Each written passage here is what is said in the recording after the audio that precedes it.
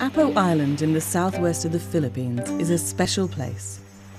As elsewhere in this country, fishing is the main source of income here for the island's 760 inhabitants.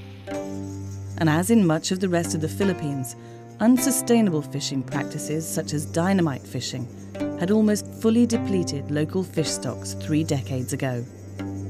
Then, in 1982, a marine sanctuary was created as a coral reef conservation project initiated by the Silliman University. Uh, the intervention there was a small fish sanctuary. At the time, about, it was about what six hectares, and um, it was a way of focusing the people to the fact that they should start uh, looking at the sea as a limited resource, not an, an open resource. At the start, most fishermen strongly resisted the idea of areas being closed off to fishing. Sa umpisa, parang hindi pa masyadong na na na influence yung mga tao.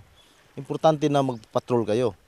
Kasi para makita ng mga tao, gusto mong ipakita yung benefits, yung benepisyo ng mga tao. And then this kind of program, it takes time to get the benefits. Huh? Five years, seven years. The sanctuary started out small, but its progress was closely monitored.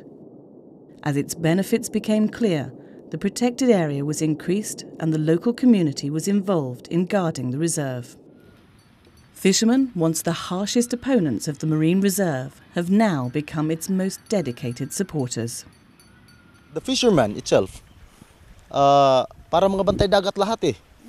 While they go fishing, they are also watching their resources their uh, territory that no other fishermen or illegal fishermen that will fish and destroy the, their resources. Two decades after its initiation, the Marine Reserve is now an internationally acclaimed success.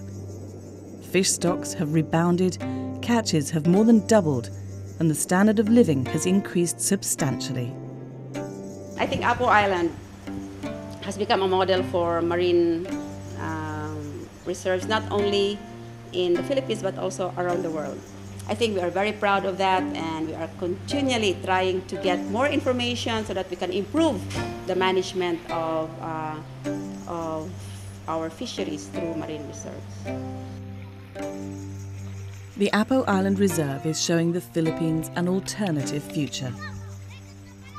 It is proving that given time and protection, the ocean here truly has a chance of recovery.